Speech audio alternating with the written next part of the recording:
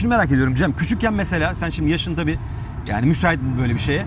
Mesela kimi izleyip kimleri dinleyip böyle hayal kurardım ben müzisyen olmak istiyorum diye. Türklerden özellikle. Türklerden Yani mi? Tarkan mı ne bileyim Mustafa Evet Sandal Tarkan mı? mesela. Hani e, ya ben benim olayım aslında şarkı yazmak.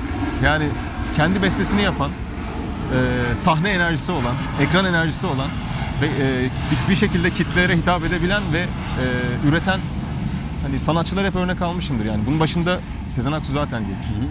E, işte O Yıldız da Tilbe de hemşe, şey, hemşerin. tabii canım hemşire. İzmirli. Ay- e, İzmirli o da. E, Başka? Yıldız Tilbe mesela onun da projesinde yer almak kısmet oldu. E, O da mı İzmirliydi? son- O Yıldız da İzmirli galiba. Ee, Toprak toprağa çekiyor bak.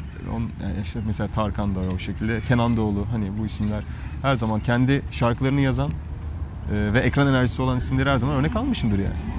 Peki hayatın Ama kendi yolumu çizmeye e, ve mesela bu anlamda hem oyunculuk dediğim gibi hani hem müzik bir arada e, yapabilmek başka bir Ama yol. yok senin zaten kendine has böyle müzik tavrın var ya. Böyle hani diğerlerine benzemiyor şarkıların. ya yani- bu duymak benim için çok e, yani o bu belli ediyor edici. zaten. Yani olur yani.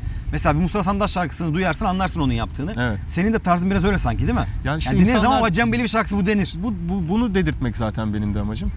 E, bu da artık zamanla olmaya başladı. Peki sence